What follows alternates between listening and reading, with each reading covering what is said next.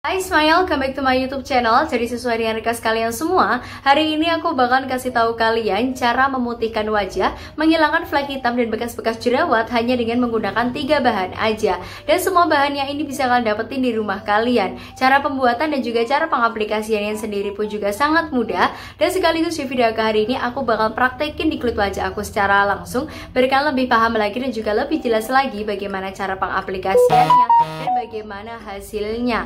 Nah pasti udah penasaran banget kan apa saja sih bahan-bahannya? Dan bagaimana sih cara pembuatan dan juga cara pengaplikasiannya? Makanya kan harus tonton sampai habis ya yang sampai ada yang di skip ya guys. Oke. okay? Oh ya guys, sebelum aku kasih tahu kalian untuk bahan-bahan dan juga cara pembuatannya, aku bakal kasih tahu kalian untuk beberapa manfaat dari masker ini. Jadi masker itu selain bagus digunakan untuk memutihkan, menghilangkan flek-flek hitam dan juga bekas-bekas jerawat, masker aku ini juga sangat bagus digunakan untuk mengecilkan pori-pori, mengangkat sel-sel kulit mati, menyembuhkan jerawat dan juga beruntusan, menghaluskan kulit wajah. Bahkan masker ini juga sangat bagus digunakan untuk mengangkat komedo dan juga menghilangkan mata panda. Jadi manfaatnya itu banyak banget kan. Jadi kalian nggak bakalan rugi untuk cobain masker aku ini. Oke langsung aja aku bakal kasih tahu kalian untuk ketiga bahannya. Jadi untuk bahan yang pertama yang harus kalian siapkan adalah bubuk kopi. Nah untuk bubuk kopinya sendiri kalian bisa pakai merek apa aja yang ada di rumah kalian. Untuk kali ini aku bakal menggunakan bubuk kopi kapal api. Dan kita lanjutkan untuk bahan yang kedua yang harus kalian siapkan adalah gula. Dan untuk bahan yang terakhir adalah kunyit bubuk. Nah untuk kunyit bubuknya sendiri kan juga bisa pakai merek apa aja. Kali ini aku bakal menggunakan kunyit bubuk mereknya Desaku. Harganya sangat murah meriah, aku beli harganya itu cuma seribu rupiah aja. Nah Nah jadi itu dia adalah ketiga bahannya. Oke langsung aja aku bakalan kasih tahu kalian untuk cara pembuatannya.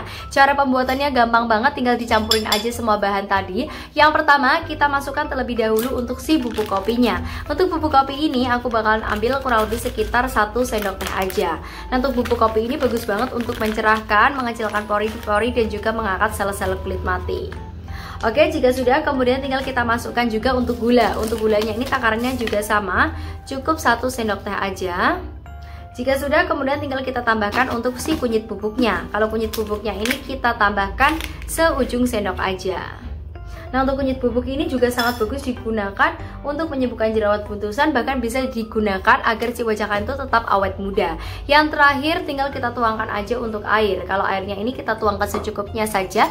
Yang terpenting nanti maskernya itu tidak terlalu kental dan juga tidak terlalu cair. Jika sudah, kemudian langsung aja diaduk-aduk sampai semua bahannya ini tercampur rata. Kalau semua bahannya ini sudah tercampur rata, langsung aja kita aplikasikan merata di seluruh kulit wajah. Tapi sebelum kalian mengaplikasikan masker ini di kulit wajah, kalian harus memastikan kalau wajah kalian itu harus benar-benar bersih terlebih dahulu. Jadi sebelumnya kalian harus ngebersihin wajah kalian dengan menggunakan block cleanser ataupun micellar water, kemudian mencuci muka kalian dengan menggunakan facial foam. Setelah benar-benar bersih, kemudian kalian pakai masker ini. Dan berhubung sekarang ini wajah aku tuh udah bersih dan aku pun juga udah cuci muka, jadi langsung aja aku bakalan aplikasikan. Nah untuk kali ini aku bakal mengaplikasikannya itu pakai kuas masker aja biar lebih gampang dan juga gak berantakan. Oke. Okay. Nah saat pertama kali diaplikasikan di kulit wajah itu gak ada sensasi dinginnya gitu benar-benar enak banget.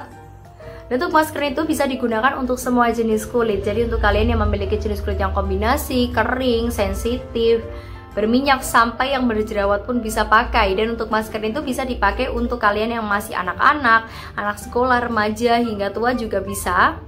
Karena masker itu terbuat dari bahan-bahan yang alami jadi yang pastinya sangat aman banget untuk kulit wajah kalian.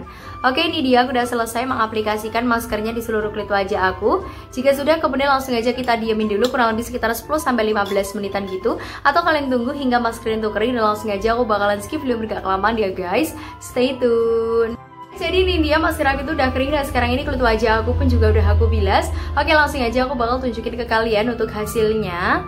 Nah jadi ini dia adalah hasilnya. Setelah aku menggunakan masker campuran antara bubuk kopi, gula dan juga kunyit bubuknya Dan langsung aja aku bakalan sedikit review. Jadi setelah selesai aku menggunakan masker ini yang paling aku rasakan Sekarang ini wajah aku itu langsung kelihatan makin glowing, makin kinclong, makin sehat, makin segar Dan yang paling aku suka lagi tekstur kulit wajah aku yang semuanya itu berasa kasar, kering dan juga geratakan banget Sekarang itu jauh lebih halus, lebih lembut, lebih lembab dan juga sangat kenyal bener-bener sebagus ini. Dan untuk hasil yang lebih maksimal lagi kan harus rutin dan juga telaten pakainya. Dalam satu minggu kalian bisa menggunakan masker ini 2-3 kali aja.